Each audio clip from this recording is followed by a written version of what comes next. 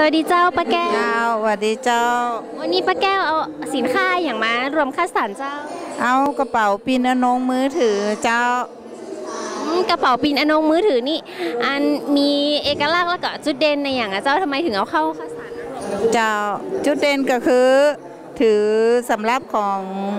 ได้ทุกไว้อะเจ้าแล้วก็มีลวดลายสวยงาม แล้วก็มันคงและแข็งแรงด้วยอะเจ้า วันนี้น้องก็ขอให้ป้าแก้วนะเจ้าได้ 5 ดาวเนาะสินค้าดีๆ แบบอีสมควรได้รับ 5 ดาวขอบคุณเจ้า